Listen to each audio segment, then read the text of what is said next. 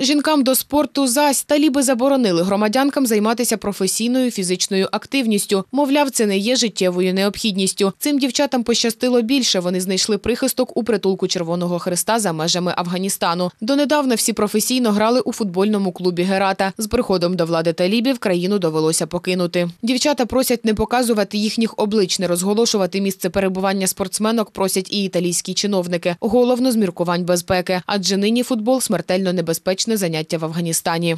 Футбол дав мені можливість почуватися сильною. Я хочу продовжувати грати і демонструвати світу свої таланти. В Італії молодих атлеток прийняли активісти однієї з неурядових організацій. Ми дуже боялися за їхнє життя, тому коли дівчата прибули нарешті до Флоренції, емоції зашкалювали. Дуже шкода, що не вдалося врятувати всіх. Проєкт допомоги афганським спортсменкам підтримала й мерія міста. Я завжди говорю своїм містянам: свобода і демократія не даються нам за замовчуванням. І те, що нині відбувається в Афганістані, одного дня може повторитися де завгодно. Одна справа боротися за права жінок в Італії, і зовсім інша там, де ви ризикуєте власним життям.